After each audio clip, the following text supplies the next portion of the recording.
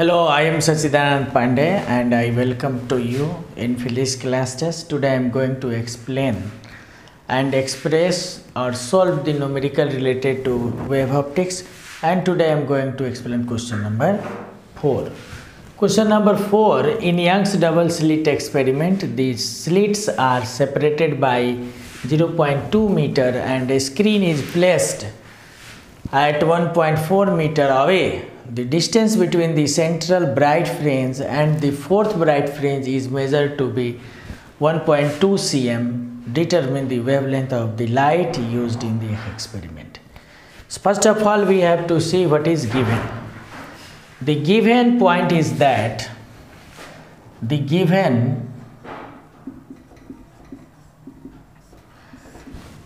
given the Young's double slit experiment, slits distance is given d is equal to 0.28 mm that is d is equal to 0.28 into 10 to the power minus 3 meter. So it is converted into meter firstly. Now second one is that the screen distance from the slit is 0 1.4 meter and capital D is given 1.4 meter. You understand? Now 1.4 meter away from the distance between the central bright fringe and the fourth bright fringe is to be measured 1.2. It means from center to fourth distance is given. Suppose uh, it means fourth y fourth bright fringe it means y fourth bright is given 1.2 cm. 1.2 cm. The distance from the center to fourth is 1.2 cm. That means 1.2 into 10 to the power minus 2 meter. That is given. And we have to find we have to find we have to find wavelength. We have to find wavelength lambda is equal to what? This is the question. And we know the formula. We know the formula for bright friends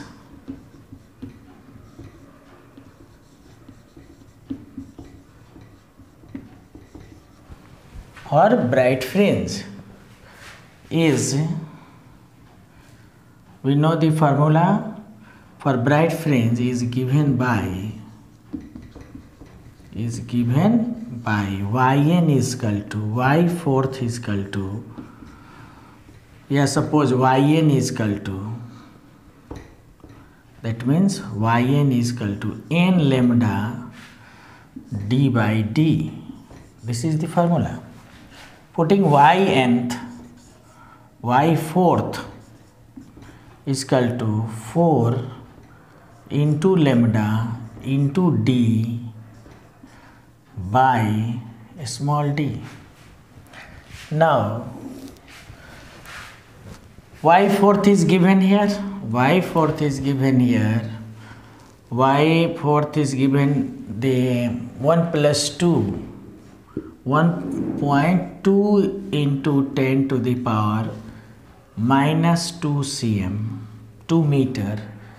That's equal to 4 into lambda into d 1.4 divided by a small d small d's value is equal to 0.28 into 10 to the power minus 3 therefore by cross multiplication we get lambda is equal to lambda is equal to 1.2 into 10 to the power minus 2 into 0.28 into 10 to the power minus 3 divided by 4 into 1.4 now by replacing this decimal. That one decimal is replaced and that two decimal here we multiply 100 that means 4 3 is a 12 and 14 12 14 to the 28 now multiplying we get lambda is equal to 3 to the 6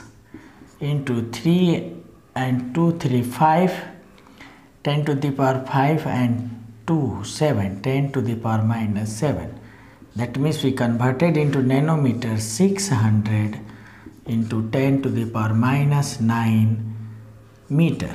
That is lambda is equal to 600 nanometer.